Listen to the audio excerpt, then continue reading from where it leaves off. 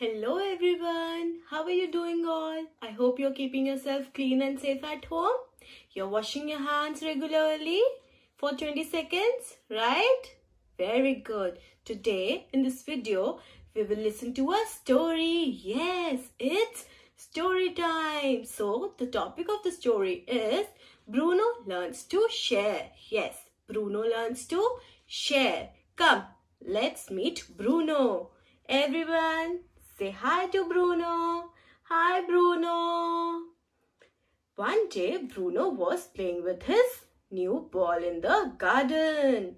Then, one of his friends came to meet him and said, Hey, Bruno, how are you?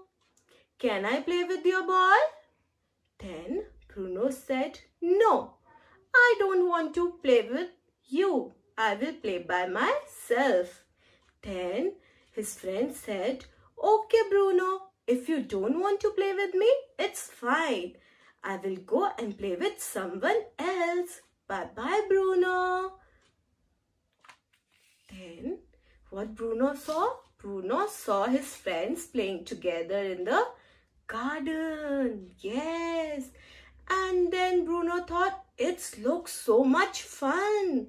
Let me join them. Then Bruno went to his friends and asked, Hi friends, can I play with you? Then what did their friends said? They said, You don't let us play with your new ball. Do you remember?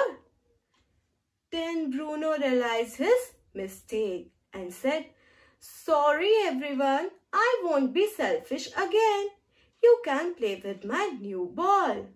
Then his friend said, Okay, we can play together. Come, let's play together. So, what happens in the end? Bruno and his friends played together with Bruno's new ball. So, Bruno has shared his ball with his friends. Yes. So, what we have learned from this story? Yes, we should share our things. We should share our things with our friends. And sharing is lots of fun. We enjoy sharing. I hope you liked the story. Yes?